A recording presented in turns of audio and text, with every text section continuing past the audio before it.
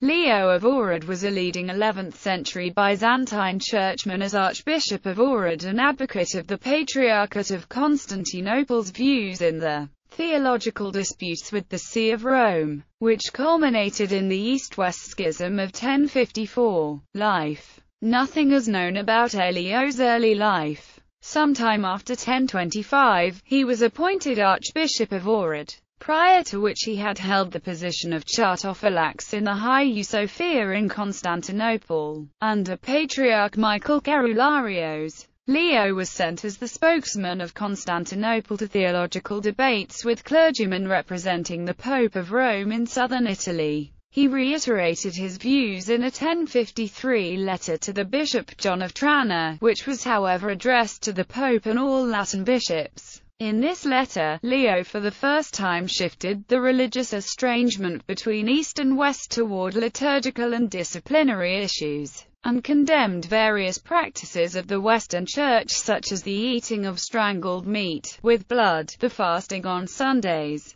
or various minor issues of ritual. The most important point of friction, however, was the Western use of unleavened bread for celebrating the Eucharist which provoked a running argument carried out in a series of letters with Cardinal Humbert of Silva Candida, which finally led to Humbert's mission to Constantinople in 1054 and the finalizing of the Great Schism between Rome and the East through their mutual anathemas resulting in the existence as separate churches of the Roman Catholic Church and the Eastern Orthodox Church.